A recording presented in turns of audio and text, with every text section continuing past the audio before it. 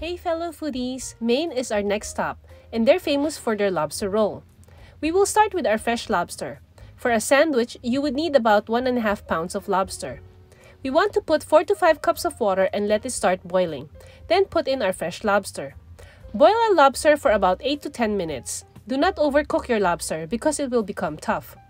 Then take it out of the boiling water and then blanch it in cold water for a minute or two. Then drain. Take your lobster and then break and twist the head from the body, leaving the tail. Break apart the claws and the legs.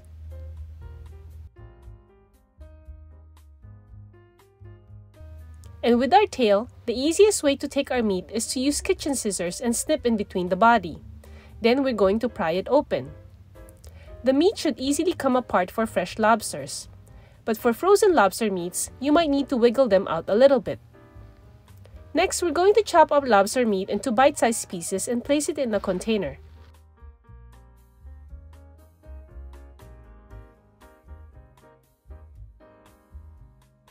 Some other ingredients for our lobster is we want to dice some celery stalk into small cubes. And I'm also adding some finely chopped fresh dill. We also want to cut a lemon in half and we're using some of the juice from this lemon. Next, I want to add in 1 teaspoon of Old Bay seasoning and some juice of our lemon. And I love my mayonnaise so I'm adding half a cup. You can add 1 4th cup if you'd like.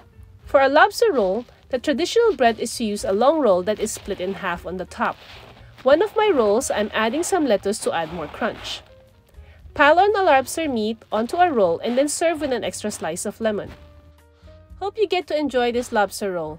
Click like and leave some comments and suggestions. Please don't forget to subscribe to my channel, check out my other past videos from different cuisines from around the world.